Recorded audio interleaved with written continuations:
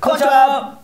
4月11日週刊仮想通貨ニュースです。はい。ビットコインドルですけれどもこちらのようにですね3万ドル超えてきました。ということでこれね去年の6月6月から10ヶ月ぶりぐらいに3万ドル超えてきた。ということでねこれ月足単位で見てもですねかなりポジティブな状況になってきたんではないかと僕は思ってますね、今回ねこう上値をじりじりと持ち合ってパッと抜けただけじゃないかすぐに戻ってくるんじゃないかと思われるかもしれませんけれども、うん。これ聞いていただければですねビットコインこのままドーンと走るかもというようなこ感想をお持ちになるかもしれません、うん。はい。今回はそこら辺をお話しさせていただきますはい。ではね、その本題に入る前に一つだけ神尾 TV からも重要なお知らせをさせてください。うん今まで神尾 TV ではコロナについて日本のマスコミが報道しない情報とかですね、やばすぎる裏話なんかあったんですけども、そうやったらダメということで YouTube さんにめちゃくちゃ怒られました。はいそして今は YouTube のルールでテレビで言ってるような話しかしたらダメ、反対意見などは一切禁止というね、まあ、ある意味言論統制ができてしまいました。はいそのためコロナについて自由に発言できなくなったので今は別の動画サイトで最新情報をお届けしています、実は YouTube では内容がやばすぎて消されてしまった動画もいくつもあるんですがそちらの動画サイトで復活させています。すでに新作動画が50本以上ありまして YouTube で言えない裏話を思いっきりやりまくってます、うん。こちらはメルマガでのみ動画見る方法をお知らせしてます YouTube では本当にこれ以上言えませんので大切な情報を見逃さないためにもまだの方はぜひメルマガを登録しておいてください。動画概要欄にリンク貼っております。お願いします。もちろん一切費用かかりません。完全に無料です、そしてその消された動画の内容は絶対にあなたに知っておいてほしい内容です。特に女性の方は必ず一度は見てもらいたい情報となっておりますちょっとめんどくさいんですが YouTube の規約の関係で YouTube ではリンクもお知らせできないという決まりになっておりますのでお手数おかけしますがメルマガの登録をよろしくお願いいたします。お願いします。ビットコインの勢いがあるのはいいですけど七藤さん鼻声ですね。鼻声も鼻声。もう花粉か何か分かれへんぐらいのね。コウさんいっぱい飛んでますからね。もうそうですそうです、ん。まあ子供もねもう一人ずつ熱出して次僕っていう感じの時に撮影が当たってしまいましたね。うんごめんね。はい聞きにくいかもしれませんけれどもビットコインはめちゃめちゃ好調でございますよ。はい。はい。まずですねテクニカル分析やらせていただいて、あとオンチェーンデータですね、うん。えビットコインの中のデータがどうなっているかはい。っていうところを、そして、まあ、いろんなニュースを今回で、今回はまとめさせていただきました。でまずですねこちら見ていただきたいんですけれども冷やしですこれ。冷やしの現在。ほら！見てボリンジャーバンドの西熊ぶっこ抜けたのわけなんですよ。はいはいはい。この前回僕が予想してたのがですねこの3月28日でございましてここからですね、移動平均数の100とか50とかぐらいはですね試しに行くんではないかという形で言ってたんですね、はい。今回ね調整しませんでした。ほうん、で調整せずにそのまま持ち合って冷やしレベルですけれどもそこからドンと抜けてきたっていう状況なんですね、でボリンジャーバンドがここまでスクイーズしてるとまあここの状態ですよね。もう本当に薄いスクイーズからのエクスパンション、うん。これねかなりね僕のルールとかではおあのいいんですよ。すごくいいんです はいはいややっぱりこのねもしこういうふうにバンドウォークしていくとすれば、うん。パンパンパンと3日ぐらいついていけるというような状況になりますんで,、はい。で今まで10ヶ月間ですねこれ。ここの価格に来たことがなかったということです。相当量のロスカットも溜まってると思われます、にしてもですね今現在ボリンジャーバンドの西熊上をタッチしてそこからですねかなりえー調整が入っておりますね。上値がへげで返されてるっていう状況です、まあもう2シグマ超えてるってことは統計的に言ってありえへんぐらいのところに上がってるってことですもんね。そうです、まあそれぐらい勢いがあると。勢いあるんですけれどもこの西軍の上限とか下限ってパーンって返されて、はい。まあ、そこでですねこうその逆張りとかする人も多いわけなんですよね、うんうんそのぐらい返されやすいとはい。ころなんですけれども、今回どうなるかということですね、うん。で前回ですね僕はこの調整すると言ってた根拠はですねこのマクディの冷やしレベルでですね下降のダイバージェンスが起こっているよとはい。はいいうことだったんですけれども、これは決まりませんでした。そのままですねまたゴールデンクロスしようとしています、うん。ということはこれダイバージェンスの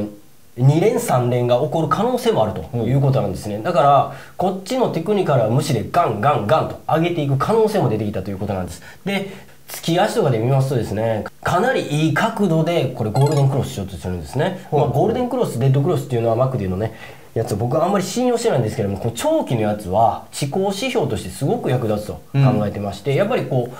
クロスしてここもクロスしてなんですけどやっぱ上がっていく下がっていくっていうことが今までえー繰り返されてきたのでここでゴールデンクロスすればですねわこれはビットコインの何？こう夜明けですよ。オッケーおー夜明けじゃけですよもう。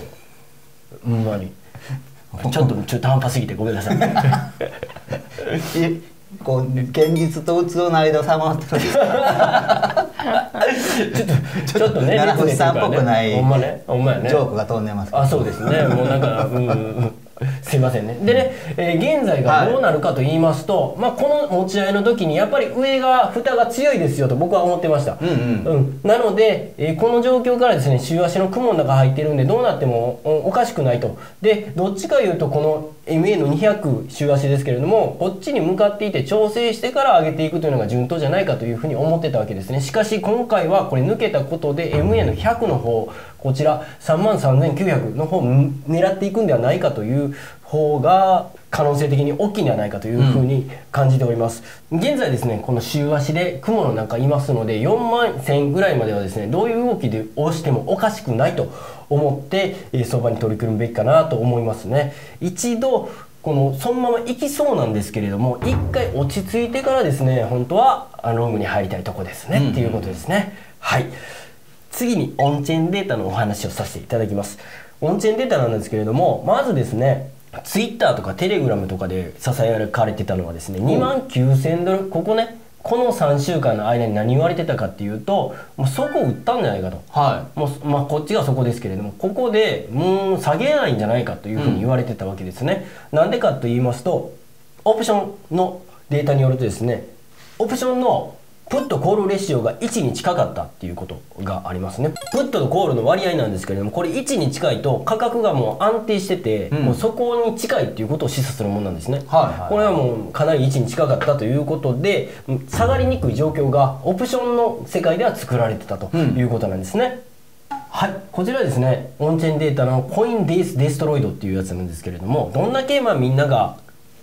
ビットコインを保有してるかっていうやつなんですけれども、まあ、高くなるとですね流動性が高くなると。で低くなるとみんなもう動かしてないっていうことになるんですよ、つまり動かしてないっていうことは上がるっていうことです。つまり売ってないってこと。まあ待ってるってことですね。待ってるってことね。うん。ということで、まあ、これもそこなんじゃないかっていうふうに言われてた理由なんですね。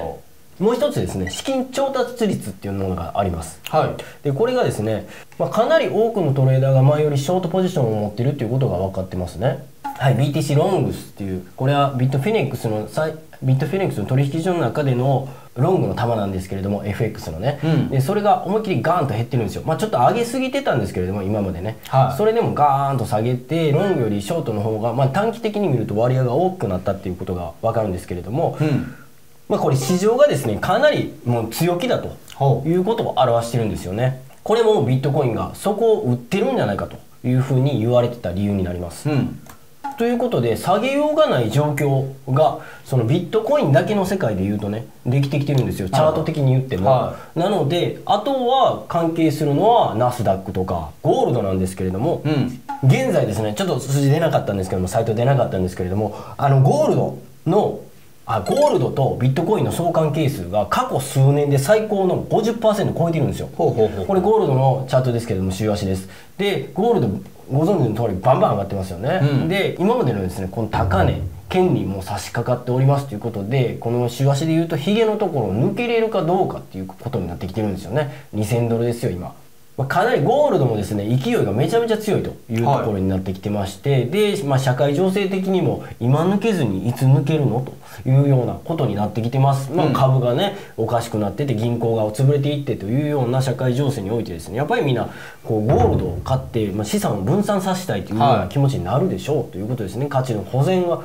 したいでしょうということで金にまあ注目が集まってると、うん。で中央銀行も買いまくってるんですよね。中国とか、まあ、いろんな中央銀行がね。はうん、っていうのも分かってきてますんで、まあ、こっちの金はですねおそらく上がっていくんではないかと。今回かどうか分かんないですよ。ちょっと調整するかもしれないですよ、うん。でもまあそうですね。12345で今回、うん調整入れるかもしれないですけれどもまあランニングフラットみたいな感じでスコーンとエリオットでいうとね上がっていくような想定を僕考えてますけれどもそれに相関係数が今ついてきてるわけですよ。ビットコインの。これもポジティブな状況ではないかと僕は考えてますねまたですね。あじゃあ金長者の七福さん今めっちゃ儲かってるじゃないいや緊張じゃでもないんですけどね。金のベッドで寝てる金のベッドに硬いわ。めっちゃ冷たいわ。な風いくわそれは。はい。ね。あいい。いいあいいですか？いいですか？もうちょっと乗乗った方がよかったかな、うん。うん。え金シルバーのやつのすいません。振るのはちょっとね。はい僕なんかどうなんでね。どうね？あもうあちょっと柔らかいよね。柔らかいそんなことないか。うんうん。コイルとかにねよく使われるよね。あ何やねんはい。でこちら同時ですけれども、うん。もうかなりアルトコインも盛り上がってきてます。これねもうちょっとまあアホみたいな話なんですけれどもイーロン・マスクさんがですねうん。このツイッターのシンボルって鳥じゃないですか、青い鳥ね、うん。あれを柴犬に変えようとはい。うようなことを言ったわけですよ。い一時変わってましたね。そうですそうです、ん。4月4日に変わったんですよね、うん。実際ね。ほんならもう25%上げましたっていうことで。はい。もうこんなことでねなんかもうみんな騙されて買ってるんですけれども。そんなんしていいんですか？めちゃめちゃ価格操縦よね。これ言った瞬間に上がるわって分かるんで、まあそんなイーロン・マスクさんしないと思いますけれども、何よこれ。あかんでしょ。これ利確されてるやんほとんど。あーってみんなついていったら利確されてしまったっていうね、ことなんですけれども、まあ、こうやって仮想通貨界が盛り上がってきてると。あとですねイーロン・マスクさん関係でいうとスペース X とか、うん。あとテスラうん。もビットコインをある程度保有していることが分かりまして、はこれもビットコインかなりポジティブに受け止められた原因ですね。うんうんもちろんですねニューヨークダウこちらニューヨークダウですけれどもナスダックとかニューヨークダウとかはですね良かったのも雇用統計良かったですね。